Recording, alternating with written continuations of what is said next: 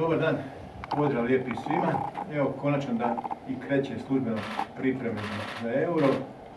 Sigurno to nam je falilo, veselimo se tome. Danas ćemo krenuti sa trenizima u Rovinju sa grupom od 11 igrača. Dakle, to su oni koji su završili prvenstvo malo ranije u svojim klubovima. Sutra se priključuju Pašalić i Besajko i u petak ostali dio ekipe. Tako da ćemo biti koliko toliko kompletni tek u petak popodne na treningu. Mateo se priključuje nakon Lige prvaka 31. svibnja u Zagrebu i ova trojica mladih igrača reprezentacije, ako bude to ok, 4.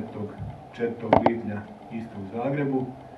Iskoristio bih prigodu, čestitao svim našim igračima koji su osvojili trofeje u svojim klubovima. Poželio Mateo sreću u Ligi prvaka, da opet imamo na okupljanju tortu za Europskog prvaka i svima nama sreću tijekom ih priprema i na Europskom prvenstvu. Od onih stvari koje su možda za vas bitne, da ćemo danas vidjeti sa Obremovićem situaciju kakva je, 7 dana radio rehabilitaciju.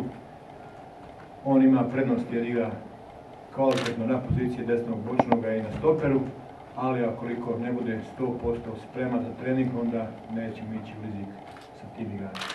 Evo, to je neko osnovo što imam reći, pa vi izvolite sa pitanjima.